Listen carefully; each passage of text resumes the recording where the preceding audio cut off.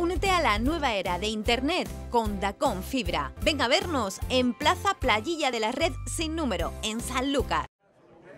El Castillo de Santiago, la fortaleza del siglo XV, que se erige en el centro del casco histórico de la ciudad, acoge desde el viernes una exposición permanente sobre la primera vuelta al mundo. La muestra, que se encuentra en la planta baja de la Torre del Homenaje, fue inaugurada por el alcalde Víctor Mora, el vicepresidente de la Junta y consejero de Turismo Juan Marín y el asesor del Ministerio de Defensa en la Comisión Nacional para el Quinto Centenario, Ignacio Orcada. Álvaro Taboada, presidente de la empresa Oficia, encargada de la explotación del inmueble, destacó que se trata del monumento más visitado de la ciudad. La idea de, por qué queríamos hacer esta, esta muestra es porque nos parecía que en Sanlúcar, origen y final de la expedición, probablemente la más importante que ha tenido España en su historia, pues debería de tener en la ciudad de Sanlúcar una exposición permanente. Como el castillo tiene eh, una cantidad importante de visitantes. El año pasado vinieron solamente a ver el castillo 25.000 personas y otros 25.000 a actos diversos. Al final es el monumento más visitado de Sanlúcar y eh, pensamos que podía ser un punto importante durante estos dos próximos años tener una exposición permanente que será incrementando con más piezas, algunas de ellas en este momento están en restauración y serán incorporando en los próximos, en los próximos meses. Pero nosotros en el castillo teníamos un objetivo desde el principio, que era ayudar a todos los proyectos que tuviesen que ver con la cultura en Sanlúcar eh, y la representación de Sanlúcar en la historia de España. Pero nos acabamos de poner un objetivo más, que es ayudar a difundir todas las actividades de las Fuerzas Armadas Españolas. El representante de la Comisión Nacional para la conmemoración de esta efeméride destacó asimismo la importancia de lo que hicieron ambos navegantes, reconfigurando el mundo y abriendo la puerta a la edad moderna, y subrayó que para la comisión a la que pertenece lo importante es el apoyo a las iniciativas que propone la sociedad civil.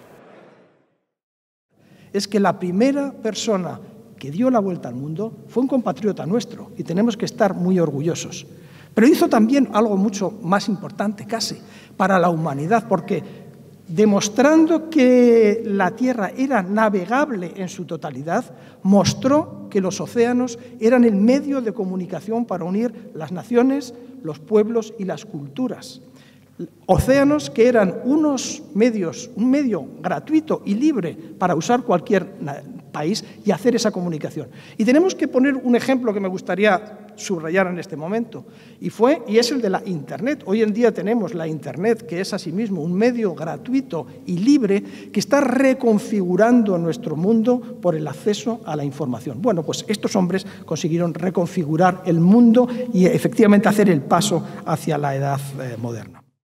El vicepresidente de la Junta, por su parte, felicitó a los impulsores de la exposición y subrayó la relevancia del castillo como testigo de una época brillante en la historia de España y de Sanlúcar, escala imprescindible para conocer el papel histórico de esta ciudad y recorrer los lugares vinculados a la gesta magallánica.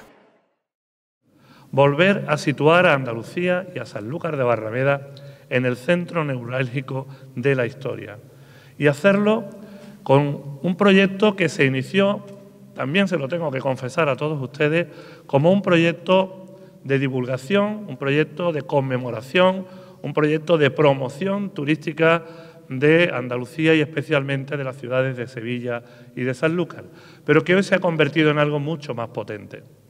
Afortunadamente hemos ido conociendo, igual que en aquella época nuestros navegantes circunnavegaron tantos mares y llegaron a tantos países, hemos tenido la oportunidad en este primer año de la efeméride de seguir ese recorrido y estar en algunos países como Brasil, Uruguay, Chile, Argentina. Hemos estado en el estrecho de Magallanes, que el próximo 21 de octubre de este mismo año se conmemorará precisamente el paso del estrecho de Magallanes y habrá actos importantes donde estará la Armada, donde estará el Gobierno de España y también el Gobierno de la Junta de Andalucía. El acto lo cerró el alcalde, quien hizo un repaso de las iniciativas más destacadas que se han llevado a cabo para conmemorar el quinto centenario. Se refirió a las infraestructuras, la primera de las cuales será el eje patrimonial del barrio alto, y pidió el apoyo de todas las administraciones. Recuerdo cómo comenzamos el año 2019 con el árbol de la lotería que únicamente sale de Madrid cuando va a ciudades que celebren algo muy importante a nivel nacional y estuvo aquí en Sanlúcar, también como muestra de apoyo a la conmemoración del quinto centenario. También con la Junta de Andalucía tuvimos la salida de la Vuelta Ciclista, hemos podido tener pues la presentación de una moneda conmemorativa del quinto centenario, una recreación histórica y un mercado de la época y también actos que fueron muy emocionantes. Y esa era la palabra que cuando salía todo el mundo nos decía, cuando en la fragata Victoria, acompañado por la nao Victoria, muchísimos barcos de la ciudad nos acompañaban. Y bueno, ya ha culminado la semana pasada con la visita de los reyes de España, también apoyando la celebración del quinto centenario.